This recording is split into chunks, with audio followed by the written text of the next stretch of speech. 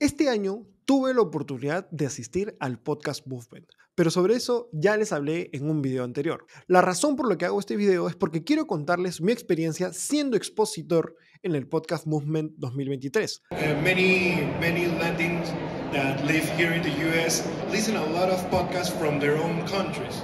I told them where we were preparing the, the speech that uh, there's a podcast in Peru that even before the pandemic, they made a world tour about their podcast. They went to the US, to Europe, to Japan. Hoy día voy a hablarles sobre las principales oportunidades en el mercado hispanohablante. Esa fue la charla que di junto a tres grandes profesionales del mundo del podcasting.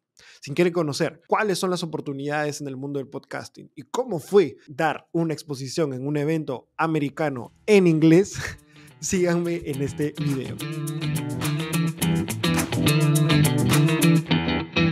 Hola amigos podcasters, ¿cómo están? Espero que se encuentren muy bien. Mi nombre es Diego Rosas y yo soy el cofundador de Explora Producciones, Explora Podcast. Nosotros somos una productora de podcast que busca ayudar a todas aquellas marcas, ya sean personales o de negocios, a que puedan sacar sus proyectos de podcast adelante. En este canal tendrás tips y herramientas que te ayudarán a ti a que puedas seguir profesionalizando tu podcast.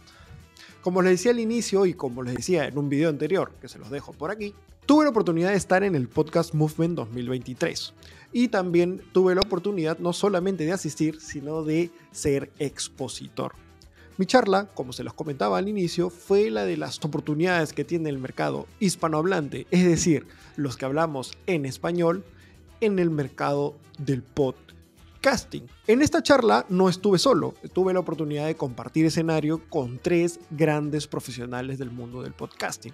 Estuve con el gran Íñigo Alegría de Genuina Media, estuve también con Rita Bautista del mismo Estados Unidos, ella es de Latina Podcasters, y también estuve con Jero Quintero de Bandy Media. Tuvimos los cuatro juntos, organizamos, conversamos, fue muy interesante esa experiencia de cómo organizar el panel para en realidad de vender Hispanoamérica para que vean que hay bastante oportunidad en el mundo del podcasting aquí también, ¿no? Porque desde luego estábamos Perú, estábamos México, Estados Unidos y bueno, Rita es de, Honduras. Entonces la idea era vender la idea, ¿no? valga la redundancia, que en Hispanoamérica, ¿no? El mercado hispanohablante, mejor dicho, también había mucha oportunidad. Así que hoy día te voy a contar cuáles fueron nuestras conclusiones, cuáles fueron estas reflexiones y las oportunidades que vimos.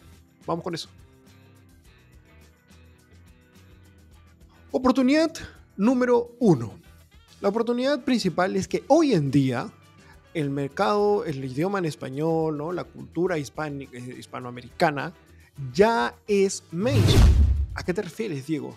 Es que es verdad, ya lo vemos por ejemplo, en la música sobre todo, ¿no? Con, estos eh, artistas de reggaetón y distintos tipos, géneros musicales considerados latinos, ¿no? Que, que la están pegando en todo el mundo, en Estados Unidos, en Europa, en distintos lados, que no es Latinoamérica, Hispanoamérica, entonces ya hablamos de un contenido que se está volviendo mainstream, que la gente culturalmente alrededor del mundo lo reconoce, está, eh, forma parte de, sus culturas también. Entonces lo mismo podemos ver en series, por ejemplo en series de Netflix, ¿no? que, cruzan las fronteras, lo vemos también en, algunas películas, ya se están dando películas en el mismo Hollywood con puros actores de ascendencia latina, ¿no? Entonces, ¿por qué el podcasting sería la excepción? Entonces, ya tenemos, por ejemplo, Caso 63, que fue una, es una producción chilena que se transformó también en, una producción hollywoodense, ¿no? Con actores de alta talla como Oscar Isaac, eh, como el protagonista. Entonces, ese es un primer paso, pero la idea aquí es que estamos hablando de un contenido que tranquilamente se puede volver mainstream, que puede volverse eh, muy consumido alrededor del mundo. Entonces, esa es la primera oportunidad que pudimos ver. Punto número dos. Si bien eh, el idioma a veces es una barrera ¿no? hacia mercados más grandes como el americano, como el europeo, etc., la conclusión a la que llegamos es que al final, hoy en día, la barrera del idioma ya no es tan grande como podía llegar a ser. Entonces, siempre que tengamos una buena historia que contar, un buen contenido que compartir, ¿no? Yo creo que los contenidos, al final de todo, detrás de ellos, tienen una historia Por ejemplo, si tú hablas de finanzas personales, eh, atrás de eso hay una historia de alguien que, quizás quiere salir adelante, que quiere aprender a manejar su dinero porque quizás en el pasado le, pasó algo malo relacionado a eso, o independientemente del tema que hables, ¿no? He dado un ejemplo por dar, pero yo creo que las buenas historias, el buen contenido, al final del día nos representa a todos como seres humanos. Acá me puse un poco filosófico, pero es verdad. Entonces esa es una oportunidad en la que hoy en día es cada vez más fácil entender al otro, ¿no? Estos aplicativos de traducción, etcétera. Siempre que tengamos una buena historia que contar, vamos a poder tener podcasts exitosos a nivel global. Entonces, esa es nuestra la oportunidad número dos que identificamos, ¿no? Que las buenas historias no saben de idiomas. El punto número 3 ya está más relacionado a nivel negocio. Y algo que es muy importante es que si anunciantes, ¿no? cuando hablamos de anunciantes en el mundo del podcast nos referimos a las marcas que quieren invertir en, poner su publicidad en los distintos podcasts. Entonces muchas veces eh, en Latinoamérica estamos eh, encajonados a que tengan que ser solamente marcas de nuestro país, cosa que no está mal. Sin embargo, Estamos hablando de un medio digital, un medio que puede llegar a todo el mundo. ¿Por qué no pensar en que otras marcas que quizás fuera hoy en día tienen mucho más dinero que por invertir, ¿por qué no podrían invertir también en, en podcast de la región? Entonces nuestra conclusión fue que si los anunciantes saben cómo adaptar sus publicidades, ¿no? Sobre todo estos anunciantes que tienen eh, las grandes internacionales, ¿no? Las grandes corporaciones internacionales, saben cómo adaptar sus em, anuncios en nuestros podcasts a las regiones, ¿no? Y para, obviamente para eso estamos las, productoras, ¿no? O los mismos podcasters para enseñarles y, decirles, oye, este, este, este anuncio que tú quieres hacer lo podrías adaptar de tal, tal o cual manera para que funcione y puedan obtener grandes retornos, ¿no? Entonces, si ellos obtienen grandes retornos, van a querer seguir invirtiendo. Y si ellos invierten, nosotros, podcasters, podemos vivir de lo que nos gusta. Entonces, esa es una gran oportunidad, ¿no? Esa oportunidad de nosotros como, como personas locales podemos entender y saber qué cosa va a funcionar mejor, ¿no? Porque quizás alguien de Estados Unidos o alguien de Europa quiera hacer un anuncio igual para todos los, para todos los países en los que se encuentran, ¿no? Como marca, y quizás pueda que no funcione, ¿no? Puede que no funcione porque no tuvo en cuenta ciertos rasgos culturales, ciertas cosas culturales que podrían funcionar mejor.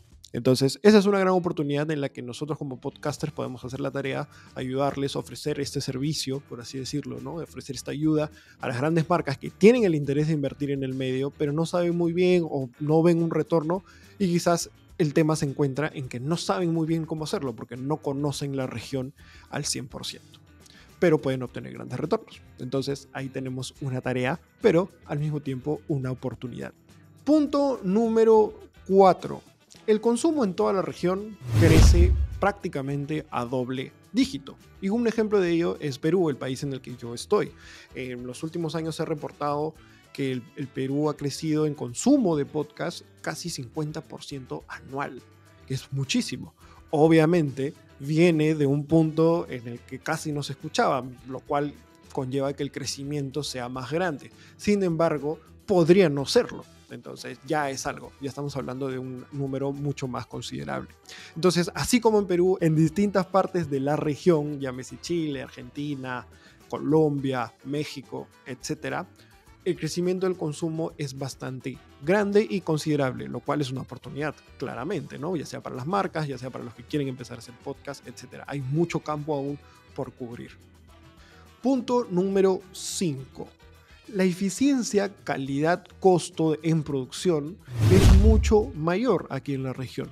Eh, vivimos en una economía global, por lo tanto, nosotros podríamos ofrecer nuestros servicios de producción de podcast afuera, ¿no? A Estados Unidos, a Europa, donde los costos de vida son más elevados y pueden tener una misma calidad que a la que nosotros podemos llegar, sobre todo, por ejemplo, si se quieren hacer producciones localizadas, ¿no? Si de repente, no sé, en Estados Unidos se quiere hacer un podcast que involucre a la región, no es necesario que se utilice todos los factores de producción en Estados Unidos. Pueden tercerizar con nosotros, ¿no? Y sobre todo si tú que de repente estás haciendo tu podcast y ya estás aprendiendo, ¿no? A editar, ya estás aprendiendo a grabar, estás aprendiendo ciertas habilidades, después puedes ofrecerlas y probablemente puedas ganar en dólares.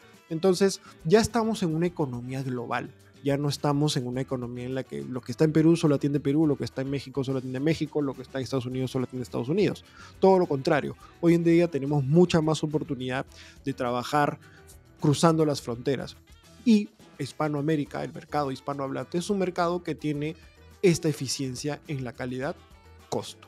Buena calidad a un menor costo. ¿No? por los costos de vida, etcétera, ¿no? Es, es, hay muchos factores distintos y muchos factores que alteran esto, pero siempre podemos asegurar una buena calidad porque estamos seguros que hay muchos profesionales que pueden hacerlo muy, muy bien.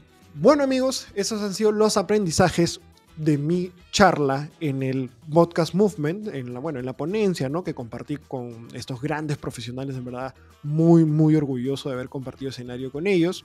Como les digo, fue una experiencia curiosa, había que hablar en inglés, hablé el inglés un poquito masticado, pero se logró, se logró, se pudo, se pudo hablar en inglés, se me dejé entender, que creo que eso fue lo más, lo más importante. Fue un reto, sí, definitivamente, me sacó de la, de la zona de confort, pero creo que, que al final, o sea, esto iba más, más allá de, de mi propia experiencia, sino iba, iba por, por mostrar, ¿no? Por mostrar las oportunidades, por mostrar todo lo que se podía hacer desde la región como mercado hispanohablante. Espero haberte inspirado un poquito para que veas que hay mucha oportunidad todavía en el mundo del podcasting, ya seas un podcaster, ya seas un productor, ya seas un editor, etc. Conmigo es hasta un próximo video. No se olviden que les dejo por aquí el curso de cómo empezar tu podcast. Les dejo por aquí un video relacionado y por aquí les dejo mi podcast llamado Contenidos. Chao.